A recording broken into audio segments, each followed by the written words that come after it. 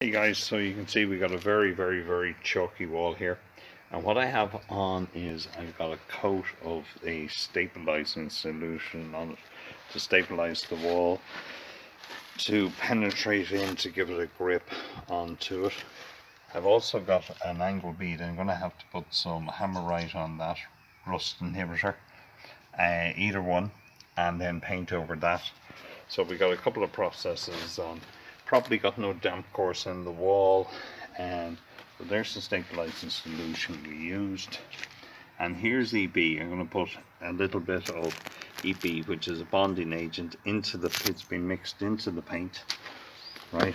You can see it's an old tin paint but you can also see how fluid it is with the EB you know so it's we're going to spread and it grips.